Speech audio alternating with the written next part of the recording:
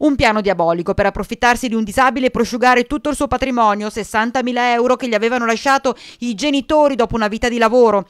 A raggirare un 45enne di Castelfranco Veneto una banda di 5 persone, tutta del paese, guidata da una 23enne. Giovane ma non nuova a questo tipo di attività, la ragazza aveva adescato la vittima iniziando con lui una relazione sessuale.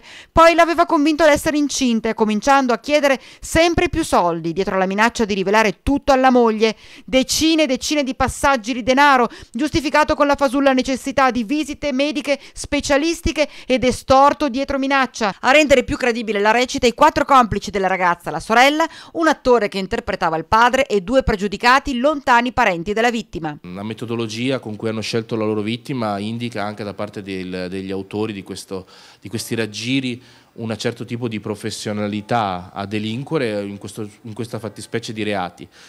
Eh, crea eh, particolare eh, fastidio il fatto che si siano rivolti nei confronti di una persona in stato di grave indigenza, di grave debolezza e molto sola.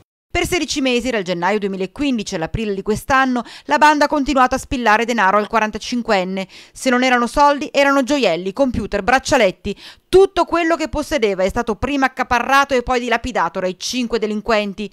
All'ultima richiesta di 10.000 euro per un falso aborto in una clinica del Meridione, la vittima si è accorta che il suo conto era vuoto e ha chiamato i carabinieri.